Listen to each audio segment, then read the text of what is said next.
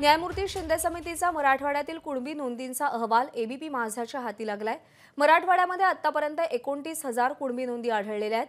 पहिल्या दोन टप्प्यात सत्तावीस हजार सहाशे सव्वीस नोंदी तर तिसऱ्या टप्प्यामध्ये बाराशे नोंदी आढळून आल्या कृष्णा केंडे आपले प्रतिनिधी सध्या आपल्यासोबत आहेत. कृष्णा या अहवालातली आकडेवारी नेमकी काय आहे? अहवालातल्या महत्त्वाच्या बाबी कोणत्या?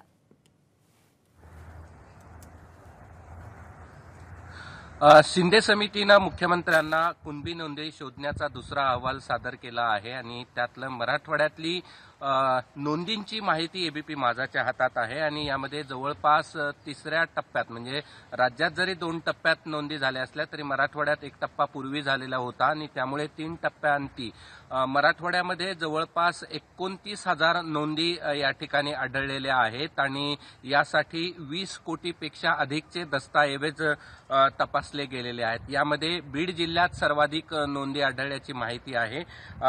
या सगळ्या ज्या नोंदी आहेत ज्या एबीपी माझ्याकडे माहिती आहे त्या अठ्ठावीस हजार आठशे सव्वीस एवढ्या नोंदी आढळल्याची माहिती या ठिकाणी एबीपी माझाच्या सूत्रांनी दिली आहे. मात्र मराठवाड्यातल्या ज्या जिल्ह्यांमध्ये कमी नोंदी आढळलेल्या आहेत त्या जिल्ह्यांमध्ये पुन्हा सर्वेक्षण होणार आहे आणि पुन्हा दस्तऐवज तपासले जाणार आहेत. त्यामुळे अधिकच्या नोंदीची भर यामध्ये पडू शकते. मात्र शिंदे समितीनं जो मुख्यमंत्र्याला अहवाल दिलेला आहे त्यामध्ये मराठवाड्याची जी माहिती आहे ती जवळपास एकोणतीस हजार नोंदी यामध्ये मिळालेल्या आहेत. मात्र प्रज्ञा आपण पाहिलं तर जरांगे पाटील यांची सुरुवातीला माहिती होती की मराठवाड्याला कुणबीचं प्रमाणपत्र देण्यात यावं आणि त्यानंतर राज्याची झाली. आणि आता जर आपण पाहिलं तर मराठवाड्यापेक्षा इतर जे विभाग आहेत त्याच विभागामध्ये कुणबींच्या नोंदी जास्त आढळत आहेत आणि आता पुन्हा सर्वेक्षण होईल. त्यात आणखी किती नोंदी आढळतील हे पाहावं लागेल. मात्र तिसऱ्या टप्प्यात जी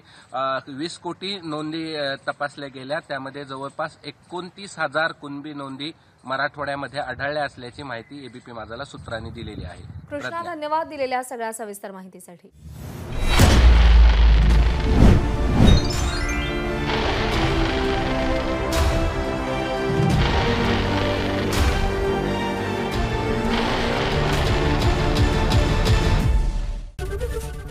एबीपी माझा.